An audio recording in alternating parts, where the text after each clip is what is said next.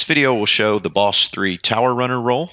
This will be the overview video, later followed by the actual fight. We will run a standard DPS build. We will use a scanner pulse skill and a revive hive. Some people switch out their obliterate chest piece for unbreakable.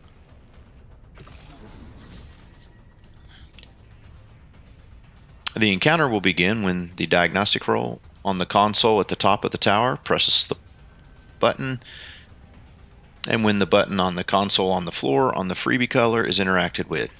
Once Diag interacts, they will jump down. They will come down to the chain to go up. The tower runner will follow Diag up the chain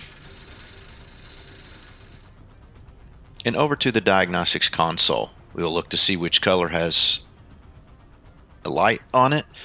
For this example, we'll start with blue, which is steam. These will come up in a random order.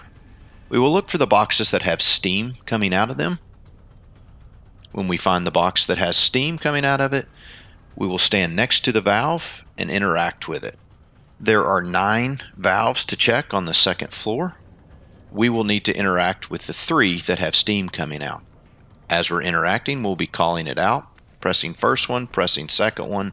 Once we press the third one, we will jump down and head to blue and help to damage the boss put him away. Once we're finished, once again, we will follow Diag back up the chain. We will wait for the tower to stop with the steam phase. We will look up to make sure. We can hit our scanner pulse at this time to help with the DPS role. Then we'll head back up the chain. Once at the top of the chain, we'll run back over to the diagnostics console again. And in this example, we will assume that yellow is next, which is electricity. We will need to interact with the electric boxes. There are three boxes on the third floor, three boxes on the second floor, and there are 13 boxes on the first floor. Once again, there will only be three boxes that will need to be sparking that we will need to interact with.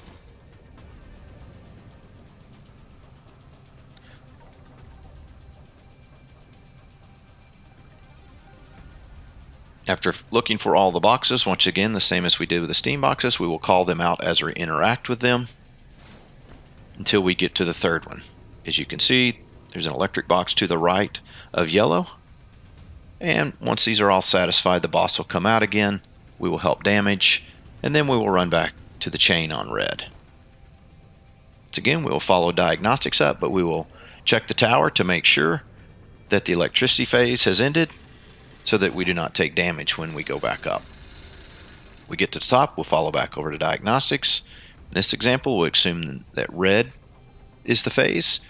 Since it is fire, we will jump down quickly off the tower because the tower will immediately have fire on it, which will kill you. We'll run to red, help to damage the boss. In this example, we use red was last. When red is last, we do not do a red check, but if red is not last, we'll go back to red again and do a red check, at which point Tower Runner will not go back up the tower. Once those three phases are complete, we will need, now be on cogs. Our cogs will be at yellow-blue. The goal of the cogs is to move the cog Pac-Man mouth around to the orange dot. You have two cogs to complete. You'll be turning valves that are up on the second floor of the tower. It's good occasionally to go and look to see how far around they need to go before you start the encounter. But once it is called that it's time to be on cogs, you'll head up the chain here on the red chain. Run over and jump down in front of blue. Go to the left, and then you'll see the two valves that are in front of yellow-blue. These are the cogs that you will be turning. You'll start by turning a full turn all the way around, and then you'll do quarter turns until you hear the large clunk. Once you hear that, and you've completed both valves, you will jump down and you will prep your right cog by shooting the Pac-Man mouth, which will have an orange glowing light inside of it since it will be turned all the way around.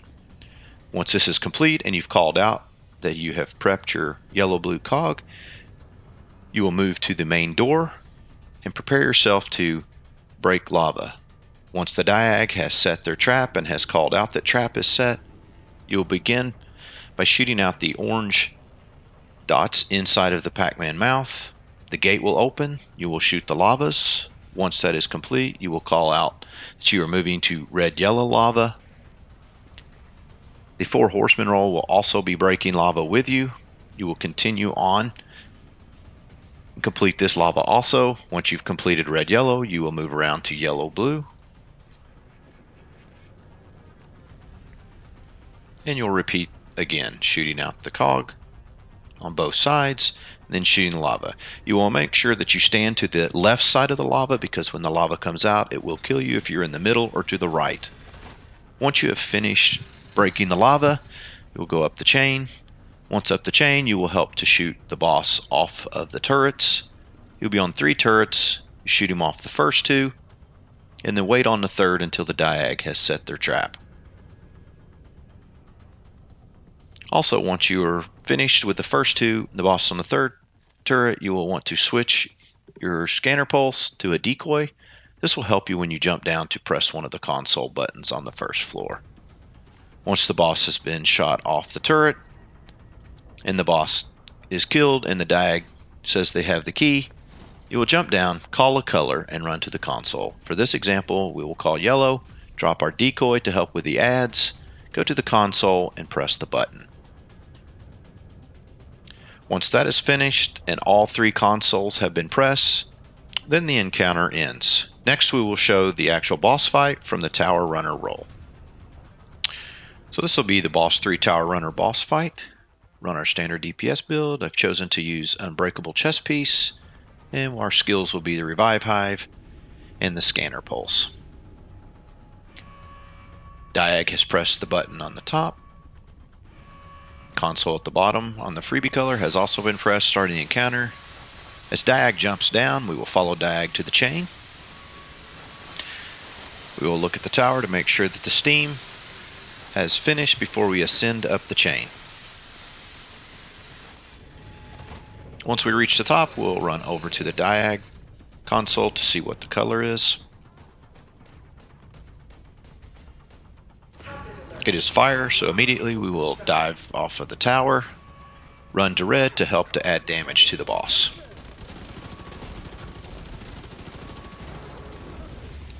Once the boss is damaged and immune, we will wait for Diag to go back up the chain.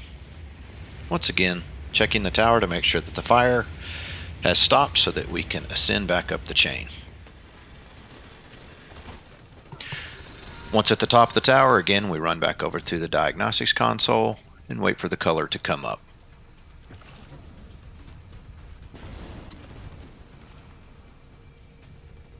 This time it is blue, which is steam, so we'll drop down to the second floor and look for the steam valves. Occasionally the steam is difficult to see, and we'll just go to the steam valve that has the X for interacting to turn the valve. After we turn the valve, we will call out that we're turning the first one, We'll then move to the second one and turn the valve. Once we finish this, we'll call out again that the second valve has been turned. And as you could see, the steam was on the other side, so we'll have to run around to the other side of the tower and turn the third. As we turn the third, we'll hear the sirens, which means the boss is out. We will jump down and we will run to blue to help to put damage on the boss. We'll go back to red to the chain, and once again we'll follow, follow diagnostics up the chain.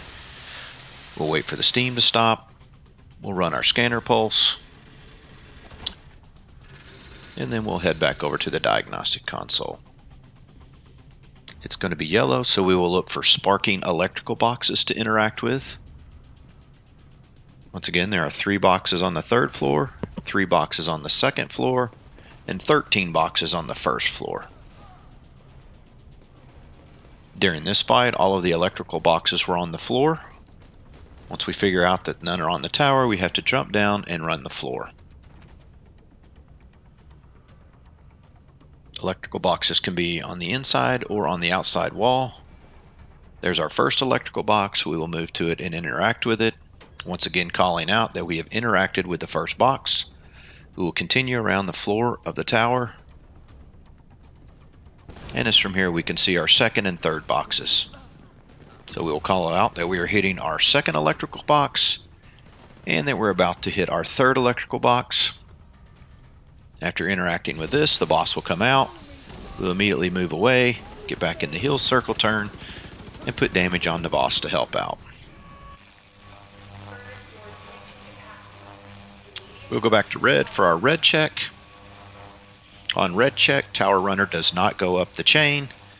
We will wait down on red and help to shoot ads. We will wait for Diag to call out that the red check has been completed and that we are on cogs. At this point, Diag has called that cogs are the next phase. So we will jump down and go up the chain and head towards the yellow-blue cogs.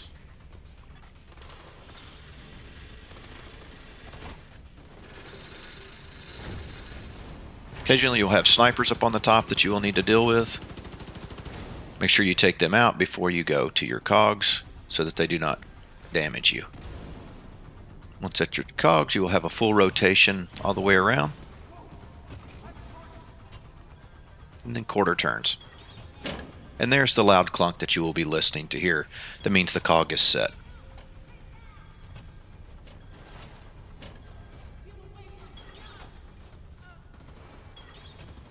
In that time, it was two quarter turns after the full turn when we heard the large clunk.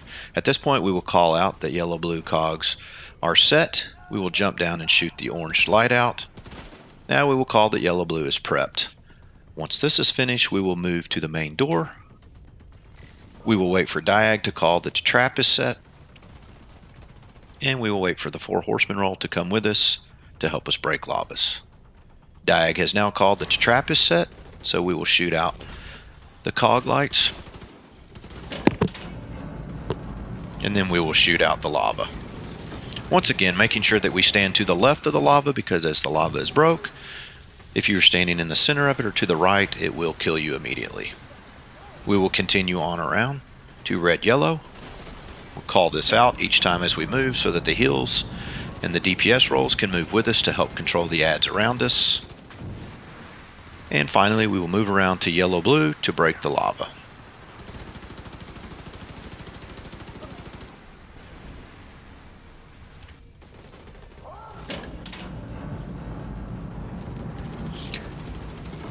If you are on the floor and you get foamed by the boss, just aim at your feet and shoot the foam. Wait for the next chain, and then ascend up the chain.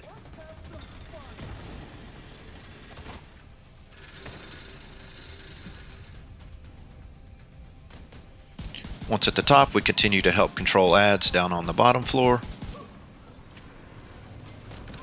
As we circle around the control tower, we'll continue to look down, continue to run our scanner pulse to help identify the ads, and then we'll move over and help take the boss off of the first turret.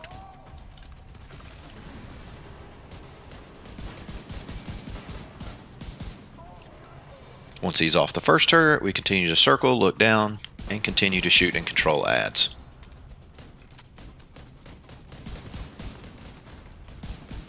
Now that the boss is on the second turret, we will move on around the tower until we get to the second turret to help take him off.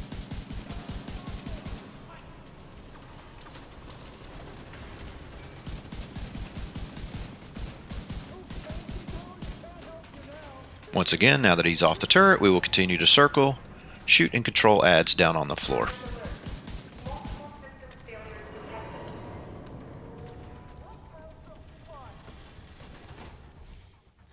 At this point, we will switch over from our scanner pulse to our decoy skill. This will help us as we run to a color console at the end to press the button. Now that he's on the third, Diag has set the trap. We will shoot him off the trap. Typically, the boss will turn and move toward the right and go to the trap. In this situation, the boss ignored the trap and jumped down. At this point, we all have to jump down to the floor. We take turns throwing out decoys to trail to re-establish a new trap on the floor. Diag will call out for individuals to throw their decoys out when needed, and we will continue to damage the boss until we put him away.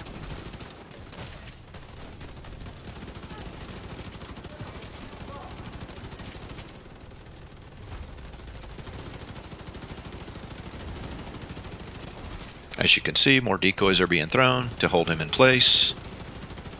And once again, this is one of two scenarios that can happen. Hopefully he stays up on the turret level and runs toward the diag trap, but if not, this is how we manage to damage and put him away. Once he's put away, Diag will run down and grab the key. You will call out a color that you're going to. We are moving to the red console. We try to have a backup for each console.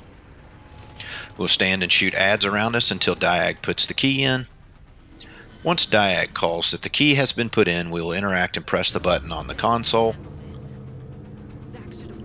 Then we will finish shooting and killing any remaining ads that are left. Whatever it takes, make sure Morozova doesn't escape. Once all the ads have been killed, we can move over to the loot pile and collect any of our loot from the encounter. And this ends the encounter for Boss 3 and the Tower Runner role.